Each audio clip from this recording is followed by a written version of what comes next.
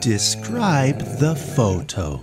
In this photo, we can see the silhouettes, silhouettes of three men riding on camels in the desert. Each man is on top of a camel. Camel. The first two men are holding the reins, reins in their hands, while it appears that the third rider has let the reins hang down. Hang down. We can see some little clouds of sand near the third camel's feet. Obviously, it's kicking up, kicking up some sand as it walks in the desert. At the bottom of the photo, we can see the silhouette of a sand dune. Sand dune. And in the background, we can see that it's dusk. Dusk. That's the name of the time of the day after the sun has set, but we can still see some light from it on the horizon. Now, I chose this photo because today is a holiday in some Christian countries called Epiphany. Epiphany, also called Three Kings Day. Three King's Day. Is January 6th the holiday in your country?